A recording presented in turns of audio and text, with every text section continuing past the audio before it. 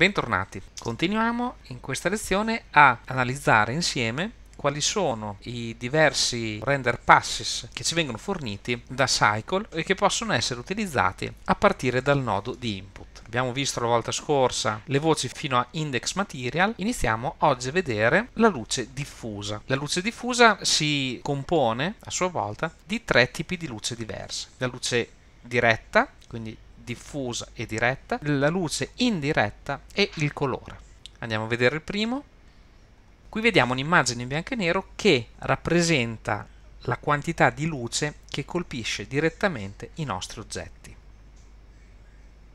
La luce invece è diffusa indiretta e invece quella luce che non arriva direttamente ai nostri oggetti ma che arriva da un rimbalzo. Immaginate i singoli raggi luminosi che partono dalla fonte di luce, colpiscono un oggetto, quindi rimbalzano e vanno a colpire indirettamente gli oggetti della nostra scena. Vediamo infatti che lo sfondo è praticamente nero perché non riceve una luce di rimbalzo. Vediamo invece che la luce che colpisce il pavimento contiene al suo interno il colore del materiale. Quindi qui in primo piano abbiamo una luce verde perché il materiale dell'oggetto è verde. Lo vediamo anche qui sul secondo oggetto, quello centrale, che riceve una luce di rimbalzo verde, mentre il terzo oggetto, la luce di rimbalzo è arancione e lui a sua volta invece fa rimbalzare una luce azzurra. La terza voce, diffuse color, è invece il colore puro, senza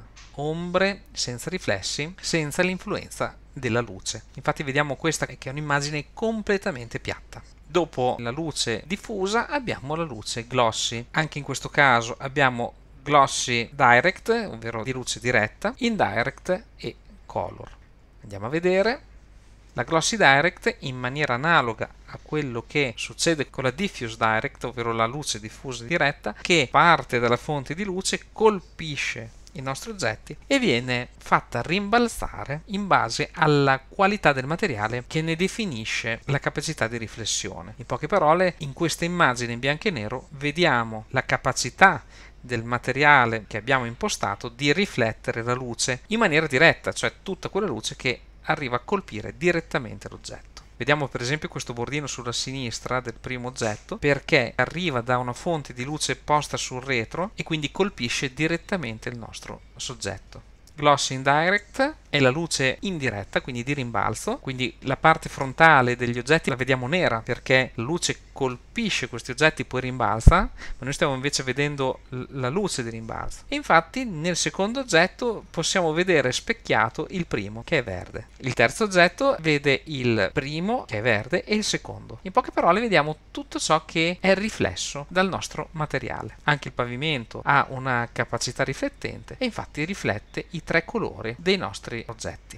Infine abbiamo Glossy Color che ci fa vedere il colore della luce riflessa. Tutte queste immagini potranno essere utilizzate come layer sovrapposti, un po' come succede nei programmi di fotoritocco, potranno essere esportate singolarmente e quindi potranno essere utilizzate per creare degli effetti davvero puntuali su ogni singola parte dell'immagine. Andiamo a vedere il gruppo transmission, ovvero transmission direct, indirect e color, che però in questo caso si vedono tutte e tre nere, quindi andiamo a modificare uno dei materiali e a rilanciare il rendering. Passiamo a layout, seleziono il primo oggetto e andiamo a applicare un valore transmission, per esempio pari a 0.5. Selezioniamo ora il secondo oggetto e impostiamo come transmission un valore pari a 1. Proviamo ora a rilanciare il rendering e vediamo che cosa ci fornisce il nodo di input per i valori transmission. Mentre transmission direct continua a essere una immagine completamente nera perché non abbiamo una luce diretta che attraversa i nostri oggetti, transmission indirect è un'immagine molto interessante. Ecco che vediamo comparire il primo e il secondo oggetto, il terzo no perché non contiene nessuna componente di trasparenza. Al primo avevamo impostato un valore pari a 0.5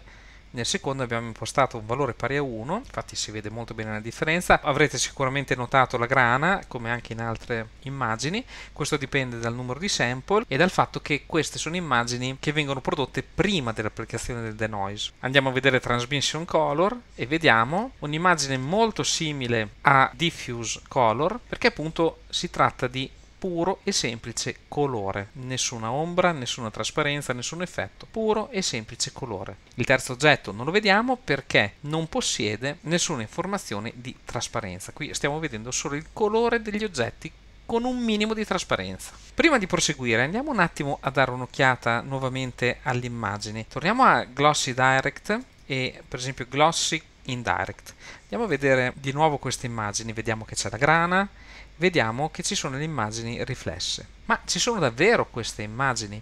Andiamo a vedere l'immagine definitiva e andiamo a osservarla attentamente. Come possiamo vedere, qui si vedono benissimo le porzioni bianche del glossy, si vedono molto bene gli oggetti e si vedono anche gli oggetti riflessi. Vedete qui in questo punto si vede il vaso verde che è riflesso su quello rosso e qui anche se solo appena accennato forse nella codifica video non si vedrà comunque si vedono i primi due oggetti che sono riflessi in questo punto. Una cosa che non si nota ma che c'è è tutto quello che riguarda la luce riflessa sul pavimento quindi la luce indiretta che abbiamo visto avere un colore. A volte l'occhio non eh, vede molti dettagli, ma questi ci sono. E la presenza di queste sfumature di colore rendono l'immagine molto più credibile.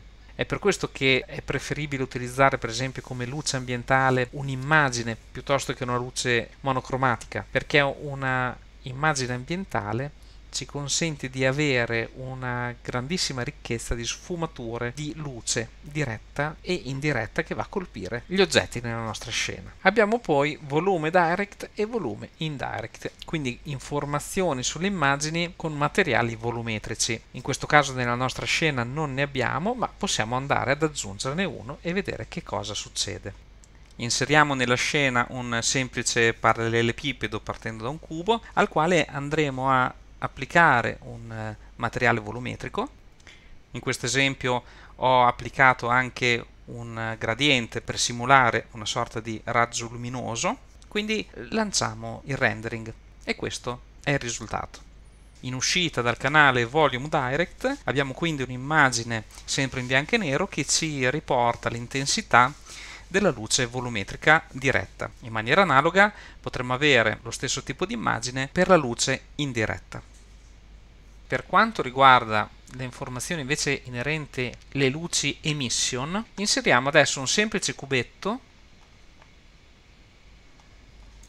al quale andremo ad applicare un nuovo materiale che chiameremo emission e al quale andremo a dare per esempio un eh, colore, ad esempio questo arancione, e un valore 2 come emission strength. In poche parole questo cubetto emette luce, una luce arancione. Lanciamo nuovamente il rendering e andiamo a vedere che informazioni ci vengono date nel nodo di input per quanto riguarda emission.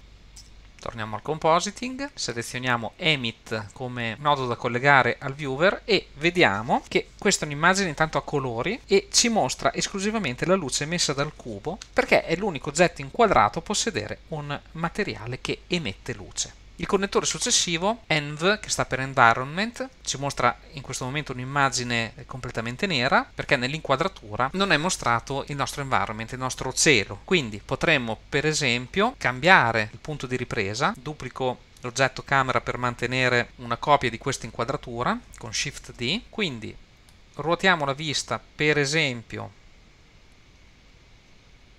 in questa direzione e con CTRL ALT 0 andiamo a impostare questo nuovo punto di ripresa. Andiamo anche a dare un'occhiata all'impostazione dell'environment in Word, nello shader editor. Vediamo che è un eh, colore grigio, il classico colore di default. Andiamo per esempio ad aggiungere uno sky texture e rilanciamo il rendering. Andiamo quindi a vedere nel compositing il risultato e vediamo che anche in questo caso è un'immagine a colori che ci mostra l'environment, quindi la luce del nostro cielo, della nostra sfera che illumina la scena. Il connettore successivo AO sta per Ambient Occlusion.